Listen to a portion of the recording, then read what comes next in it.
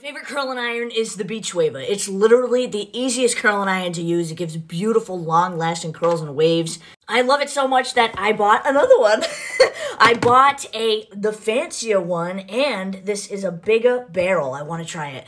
Ooh, that is nice. I put my hand into two sections.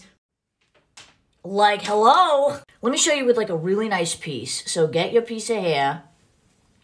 You're gonna take the barrel I like to have it in the front and then you're gonna curl away from your head and it just rolls up. It's so freaking easy. You can gently release the clamp and you have the most beautiful curl. I just like that I only need one hand to really do this. I don't need two hands. Okay, now I'm doing the top section. Brush it all out, style it a little. Beachy, messy, wave.